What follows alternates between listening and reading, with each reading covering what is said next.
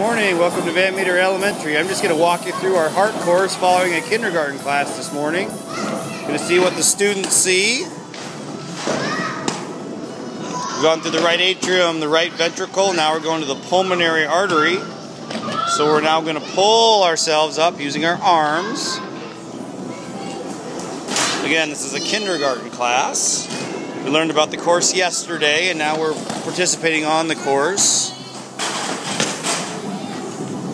Okay, we're following the student in the white shirt here. We're going up the pulmonary artery, pull, pull, pull. Put the scooters back in the container nicely.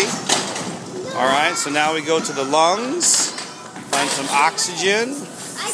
We're going to go into the left atrium. We're going jump, jump, jump through the mitral valve down to the left ventricle.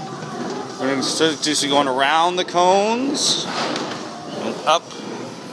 Supposed to be going up the balance beam. That student is very fast, as you can see. Follow this student. We put the oxygen back in the lungs. Okay, that student chose the body. So he turned right, went over here. Already through the speed ladder. He is super fast.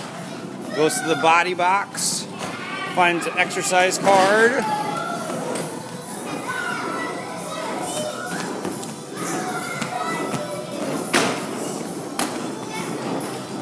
That student finished their exercise.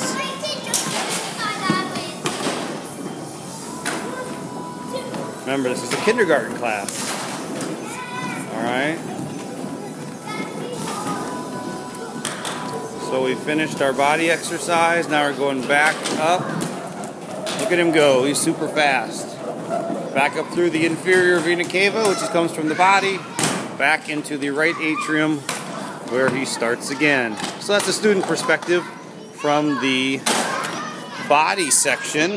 Now let's see if we can find a student that is choosing the brain and cutting through the heart. We finished, we finished. The student has chosen the brain. They're jumping the hurdles. Now they're going to find a flashcard. Got it right. Goes back in through the superior vena cava down into the Hard again. Again, this is a kindergarten class. They're enjoying it. I'm enjoying it. Thanks for watching from the student perspective of our heart course.